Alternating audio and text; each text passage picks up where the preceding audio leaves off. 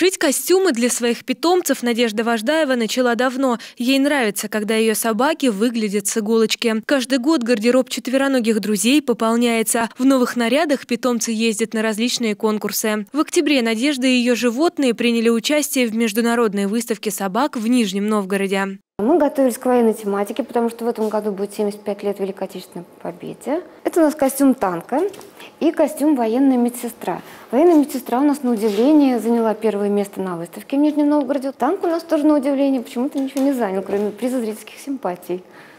Ну, как бы это было что-то неожиданное. В конкурсе костюмов на международной выставке принял участие и Пудель Рик. Он занял третье место. Вместе с хозяйкой Полиной они представили жюри сразу два костюма – Незнайки и Ромашки. Мне очень понравилось, понравилась а, большая гордость за собаку.